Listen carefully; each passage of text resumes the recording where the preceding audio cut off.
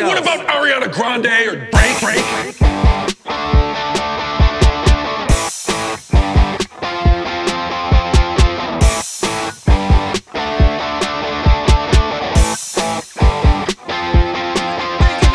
What about Ariana Grande or Drake? What? Brad Pitt or Payne Stewart or Doug the Pug?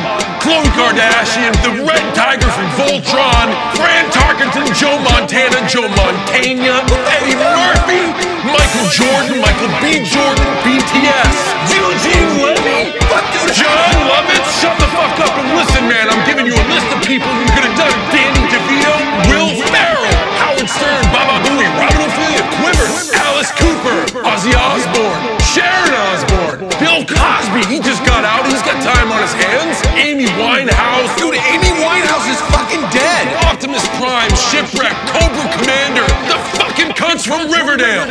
How do you like that? I like it. I like it a lot. I don't give a fuck. What? Give it all you got. All right, next time I fucking have to frame somebody, it'll be one of all those fucking thousands of people you just mentioned. Yeah.